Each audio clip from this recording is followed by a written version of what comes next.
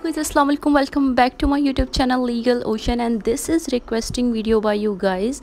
You asked me that ma'am what is the difference between lawyer advocate and barrister? So guys this is also a very confusing question in the field of law that what is difference between lawyer advocate and barrister? So don't you worry guys i will explain them one by one. So the definition of what lawyer is person who have law degree or a person who studies law will call lawyer. It means when you got your llb degree by the universities or um, you studies or practices law but you still don't have court license then you will call lawyer. So now go to the definition of word advocate. So the definition of word advocate is a person who is professionally qualified to plead the cause of another in the courtroom.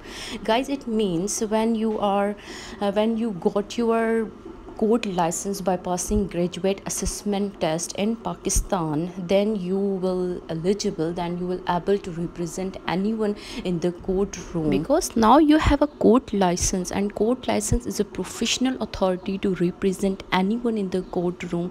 You can represent any person in the courtroom because you have a court license. Now go to the word barrister. Barrister means a person who is trained at one of the four Inns of court of law in England. These are Lincoln's Inn, Gray's Inn, Inner Temple, and last one is the Middle Temple.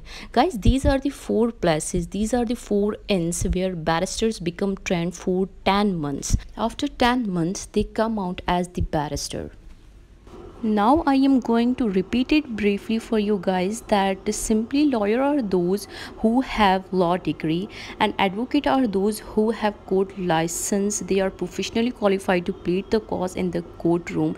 And barrister are those who trained at one of the four Inns of court of law in england hopefully guys you now clearly understood the difference between them. So we'll see you on the next video. Allah hafiz. Take care. Bye bye